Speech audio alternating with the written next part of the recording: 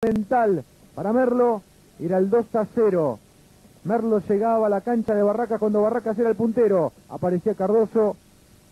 El 1 a 0 para el equipo de Restaino. La gente que festejaba y empezaba a soñar. En la gran tarde de Ramírez hacía esta genialidad del 11 de Merlo. Amaga para acá, para allá. La pica por arriba. Uno de los mejores goles del campeonato, el del Charlie Ramírez, que nuevamente enganchando, definía el partido ante Barraca 3 a 1